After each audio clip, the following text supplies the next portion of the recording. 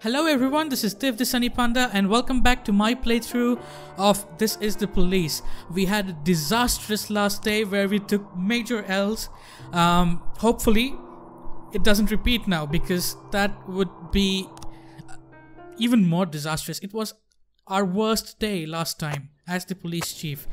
Uh, I mean, we lost officers, we lost civilians. It was, it was horrible. I don't even know how to put it. Also, the last two videos, the last two episodes have been of a bit low quality. It was because uh, my hard drives ran into issues while I was uh, recording, and a bit of it was corrupted. I had to I had to do some shenanigans to get it back, otherwise all my progress would be lost. So I apologize for that. It should be fine from this episode onwards. So we are on July 25th. Um, this is day 11. Rogers is responsible for Freeburg Police Department breakdown. So the mayor is getting some heat.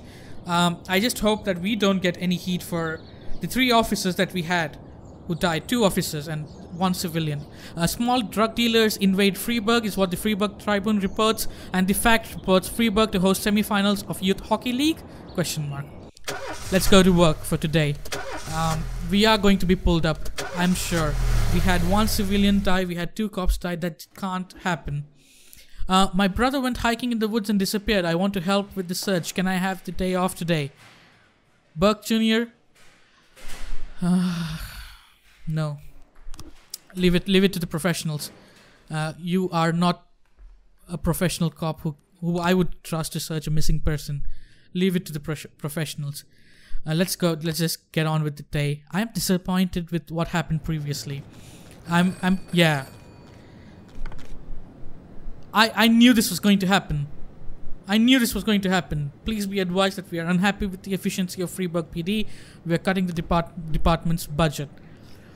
You lose one job slot. Removing an occupied slot will automatically fire an employee. I think we didn't even have. Um, we didn't even have.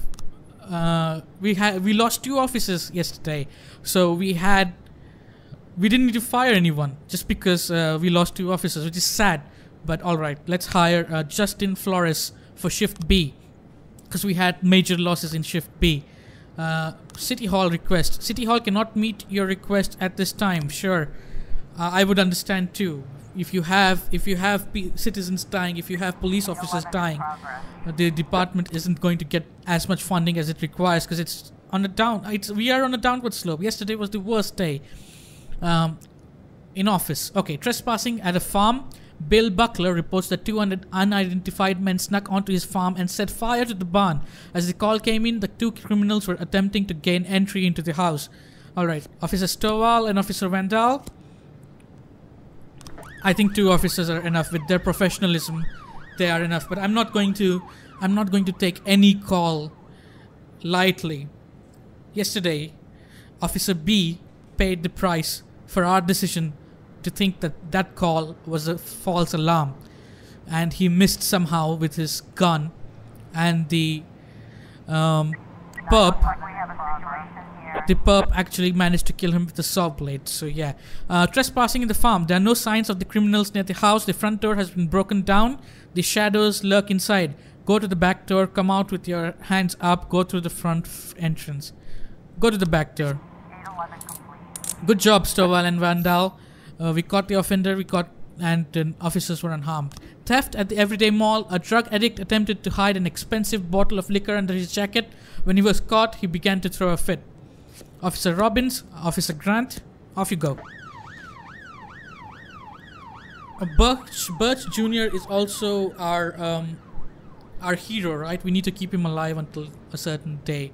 Nothing, not keep him alive. We need to make sure that nothing happens to him until a certain specific day, which is fine because we're not sending him to any dangerous missions, anyways. We we we aren't trust. Just as I say that, Jack, one of our new guys, tried to. Holy shit! So they had an internal fallout. Um, one of our new guys tried to rape our accountant. We locked him up in a hotel room, but he's threatening to hand the whole organization over to the police. I think it's time he talks to a police officer face to face. Bert Jr. is going to be our man for the hard talk. He's, he's uh, offender caught, officers unharmed. Good job, officers Robbins and Grant. Get back. Bert Jr. is going to go there, talk to the rogue mafia employee, uh, give him a dressing down, a bit of fear of law.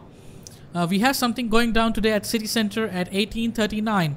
We wouldn't want any policemen crashing the party. I think 1000 should be enough for such a request. All right. Um, we will decide. We need to be efficient. Uh, our, our ratings, our approvals are dropping down. City Hall is angry with us. If we see that there would probably uh, be a loss of life, we are going to respond to that. Okay. Assault with a deadly weapon in a parking lot. A woman reports that she saw a skinhead attacking a dark skinned valet, uh, striking him around his legs, yelling, I'll beat you till you're dead, freak. No shit, I'm going to do it. She believes she saw a pistol sticking out of the skinhead's belt. Alright, Officer Gibbons take lead, Robbins, Grant, Samadhi. All four of you, off you go. I'm sending out all four because I'm not taking any chances. I took chances yesterday, we suffered big losses. So, at least for now, until I go back to being career free, it's still fresh. The, the day you lose two officers, you're going to be extra vigilant, extra strict, extra careful for the following few days, right? I was trying to raise 10 1, Sergeant Hotspot. They need more. Hmm. I don't think so. I'm just going to refuse. Um, assault with a deadly offender caught, officers unharmed, civilians unharmed. Good job. I, I had faith in these four, so that's why I didn't send out more. Um, yeah, this is a city center thing that uh, is from the mafia. A man in an expensive suit is lying in the street. It seems he's been shot, but no one saw who shot him or from where. The man is still alive, and an ambulance is on the way. So, we may end up losing a civilian, but there's four slots for officers, and I can't send these two out alone. I don't want to risk my officers dying. We already had an officer die yesterday while attending a mafia call because I didn't want to lose a civilian. But I'm I'm I don't think we're going to lose the civilian here. He may he may just be safe. So we are going to ignore it for the mafia. Um, offender escaped. No, come on. I thought I thought the civilian would. Okay, so that's another that's another um, loss for us because the more civilians die, uh, the bigger hit our department takes. Um, attempted robbery in the suburb. Eight-year-old Kevin is at uh, is at home alone, hiding under the bed. Unknown persons are gathered outside the apartment door. Home alone. Uh, Stovall and Vandal, off you go. I don't want civilians dying on my watch, but sometimes I I have to I have to make a call. Do I send my officers in where they may die, or do I just take a loss of civilian? Um, back then, I had the option of tending, sending two officers to a four officer call, and I just didn't think it was worthwhile. If I had more officers, I would probably send them. All right, Rob- Robbins can go out here as well. Um, I don't know why they want backup, but if there are like multiple people um, trying to break and enter a house, I don't mind sending Robbins. But this day is already better than the previous day. No officers has died, have died, and uh, we lost one civilian. There was one civilian casualty, but it's all right. Uh, Stovall, Vandal, Robbins, good job. They have caught the offender, and none of them are harmed. So we are going to end our day, day eleven, which um, which went pretty pretty decent compared to your last day. Oh my good lord, he's just crowd. He's just his back is In my new him. role as corrupt official, I had to give up some of my favorite habits. I couldn't turn off my phone when my head ached. Couldn't sleep till noon on Saturday and let the rest of HQ take up the slack. No more days off to go fishing. But my weekly visit to the old colony club was more like tradition. One night a week, I absorbed cigar smoke, the vague smell of alcohol, the stench of urine, all mixed with toxic levels of old drunken belches. Same picture it was 30 years ago. Tradition's gotta be honored. And to stay faithful to the tradition, you've got to respect the standard rituals. When you're about to roll out of the club, you need to take a deep breath and count to a hundred. If your stomach doesn't do a backflip, you should be good to make it home. This time I only got up to 60. I was interrupted. Why? You look even better than you do on TV. There's nothing more impolite than approaching people in the alley at the old colony. This is the most private place in the city. All who enter here dirty their shoes with the most elite stream of vomit in Freeburg. This asphalt has been blessed by judges, lawyers, artists, businessmen, and all our politicians. Takes a lot of balls to crash the party. My head was a drunken haze, but I knew who he was. A cartoon gangster suit straight out of Dick Tracy. Fancy voice, fruit cologne, sassy strut. That's how the newspapers described Vicus Varga, rising star in Freeburg's criminal underworld.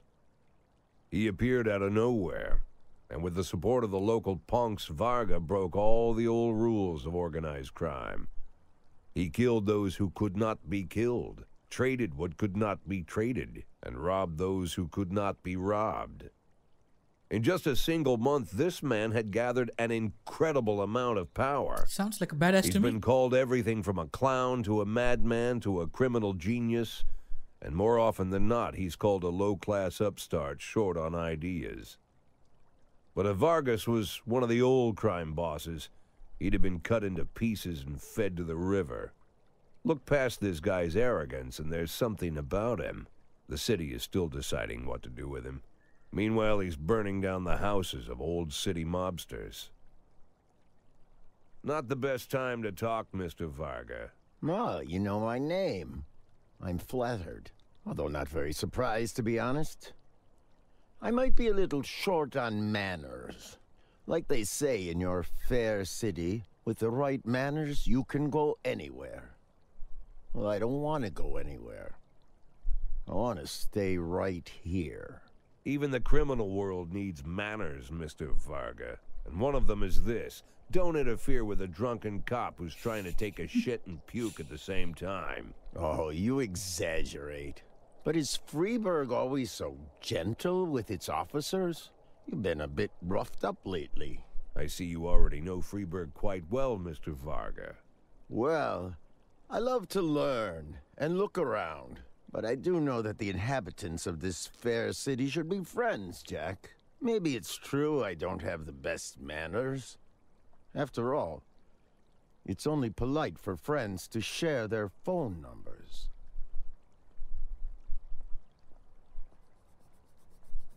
He's just going to scribble the number on my arm. This city of yours moves so fast. Holy shit. I feel like I'm hooked on amphetamines all over again.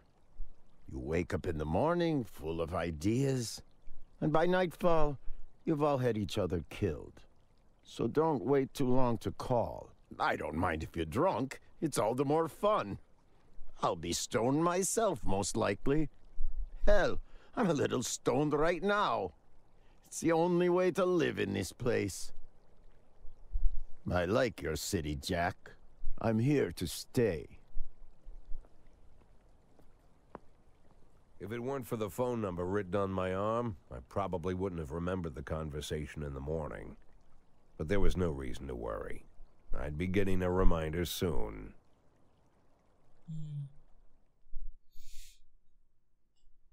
All right.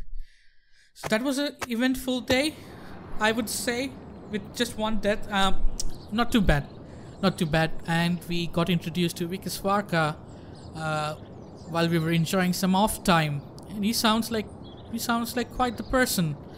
Um, sounds like a new star, new new new mobster trying to make his own name, and he already seems to have made quite a name. All right, so we're going to stop it there for now uh, before we get into the next day, which I feel is going to be a bit long. Maybe it's not, maybe it is.